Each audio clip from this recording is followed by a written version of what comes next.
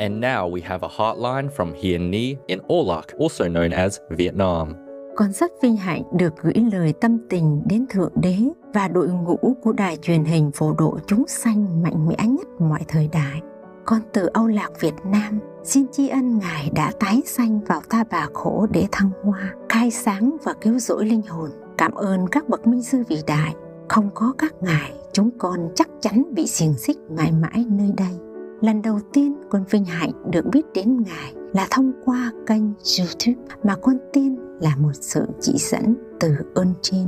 Khi nghe tiếng Ngài cất lên, nước mắt con tự nhiên trào dâng không kiểm soát. Một niềm xúc cảm sâu sắc làm con run lên và không ngừng thổn thức. Sư phụ từng nói cảm giác chân quý, tôn thờ, thương yêu, biết ơn sư phụ không phải là với xác thân phàm trần này của Ngài mà là cảm giác với lực lượng vạn năng của Thượng Đế đang làm việc thông qua Ngài. Con ao ước được trụ trong liên kết mạnh mẽ với lực lượng thiêng liêng này mãi mãi. Con chưa từng thấy người nào giỏi như thế, có năng lượng dồi dào đến thế, sức kiên trì bền bỉ đến thế, tình thương và cống hiến vô điều kiện đến thế, và không gì có thể ngăn cản đến thế.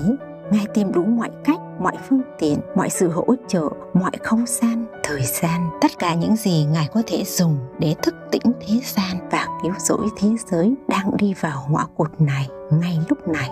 Ngài thậm chí còn có thể từ bỏ cả thể xác lẫn linh hồn nếu điều đó mang lại tự do vĩnh viễn cho địa cầu. Trong một tin mới bay sang thời gian gần đây, nỗi đau tột cùng và sự lo lắng canh cánh khôn nguôi của Ngài trước sự đau khổ của hết thảy chúng sanh trên địa cầu hiện nay làm con cũng không cầm được nước. Ước gì con được thọ tâm ấn ngay lúc này để đóng góp một cách sáng suốt và mạnh mẽ nhất vào hành trình cứu độ chúng sanh của Ngài, để thế giới bớt khổ và Ngài cũng đỡ đau hơn. Dù con biết việc truyền tâm ấn cũng khiến Ngài chịu đau khổ và rất mệt mỏi, nhưng biết làm sao cho trọn vẹn, con mong Ngài bảo trọng mong cho mọi nỗ lực và mọi nguyện ước của Ngài đều thành tựu viên mãn và mong truyền hình vô thượng sư sẽ tiếp tục phổ độ khắp hư không pháp giới mong các đấng thiên liêng hỗ trợ Ngài tối đa. Mong toàn thể nhân loại sớm thức tỉnh và đi theo chân lý. Amen. Con yêu kính sư phụ mãi mãi và tạm biệt đội ngũ đài truyền hình thông thái nhất. Sư phụ cười thật tươi với video này nhé. Hiền nhi từ âu lạc hay việt nam.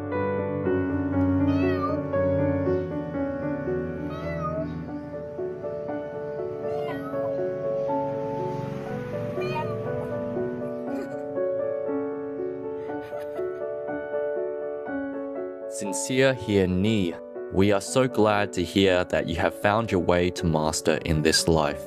We hope you can get initiation soon. It is the greatest gift one can receive. We will be glad to have you in the Kuan Yin family and hope you reach enlightenment in this lifetime. May you and the earnest Olaxese or Vietnamese people feel the Buddha's compassion and care today and always. Supreme Master TV team. P.S. Master has a sweet reply for you. Delightful Hien Ni, I am touched by your heartfelt words. Enlightenment allows us to access the truth of who we really are, thus brighten the world with our mighty force. Without knowing ourselves, we cannot help our planet as much because our divine power is far greater than our humanness alone. If we could see and understand the power of the Kuan Yin method, we would be utterly amazed. I love you so much. May you and sacred Orlok or Vietnam awaken to ultimate wisdom and forever bask in the Buddha's light.